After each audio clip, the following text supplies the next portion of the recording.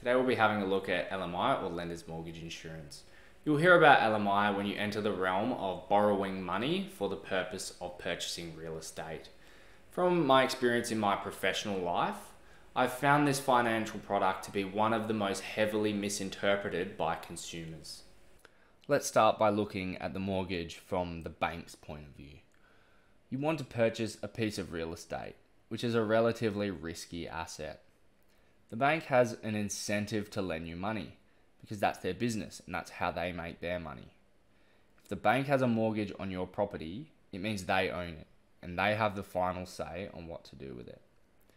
Sometimes the borrower, for whatever reason, defaults on their mortgage by missing too many payments, and the bank has to take the house away and sell it to somebody else to pay back some or all of the amount owing on the mortgage.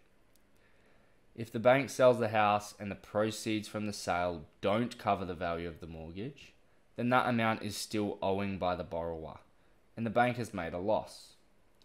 Since the borrower is already defaulted and missing payments, it's unlikely they will ever repay the amount outstanding, and for the purpose of this example, we will assume that this is the net loss.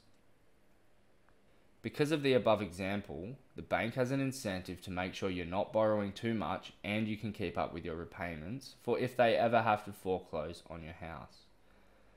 They do this by asking you to make a deposit or a down payment on the house. In Australia, they tend to ask for at least 20% equity deposit to approve you for a loan, all other things equal when the borrower really wants a home and they don't have the 20% deposit they need, a third party company called a lender's mortgage insurer is able to come to the table to provide lender's mortgage insurance or LMI. The LMI is a one off payment, usually added to the mortgage, that is most costly the less equity you will have in the property. The way it works is they pledge to the lender that if the borrower defaults on their payments and the foreclosure results in a net loss for the bank, the insurance provider will foot the rest of the bill. The bank is happy to accept that agreement because it protects their downside risk, which is exactly the point of insurance. And this is where I see a lot of confusion come up. The first reason is that borrowers think they have the insurance. Some people think that if they stop paying, the LMI will cover the foreclosure and the borrower will get off scot free. This is a complete fallacy that I believe is perpetuated by the banks and insurance providers, and I would go as far to say it is a form of predation in the industry. Having said that, it's called lender's mortgage insurance not borrower's mortgage insurance. And it is up to you, the consumer, to understand what you are doing. Whether the loss is absorbed by the bank or by the LMI provider, it's ultimately you, the borrower, that pays for it in one way or another per the contracts you signed. Let's summarize. For the luxury of purchasing the home without having the minimum deposit, usually 20% of the value of the property, it's the borrower that pays for the lender's insurance.